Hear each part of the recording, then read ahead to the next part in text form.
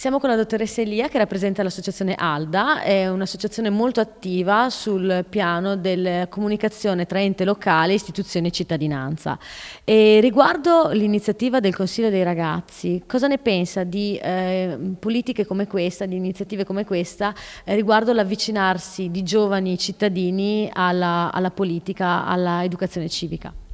Sì, ehm, credo che questo eh, esempio di eh, Consiglio dei ragazzi rappresenti eh, un elemento importantissimo e un esempio eccellente diciamo, di eh, partecipazione attiva alla eh, cittadinanza eh, e alla vita politica eh, della, della, del paese.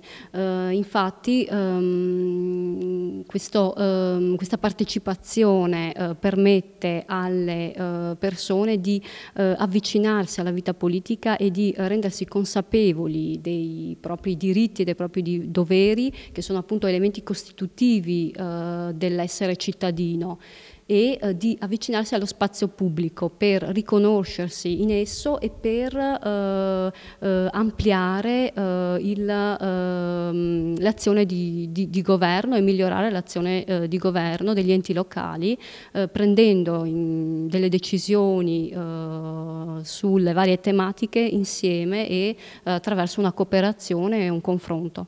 Quindi è, è bene cominciare a fare democrazia fino all'età scolare.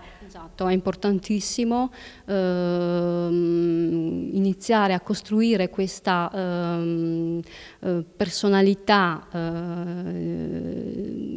de democratica, tra virgolette, eh, fin eh, dall'età scolare e eh, anzi eh, credo che sia fondamentale partire proprio da questi giovani per creare un cittadino consapevole, un cittadino che può promuovere una democrazia sostenibile. Esatto, una vera democrazia dove non solo si è rappresentati ma si è anche proprio... Esatto. La ringrazio moltissimo e le auguro buon lavoro, grazie. grazie.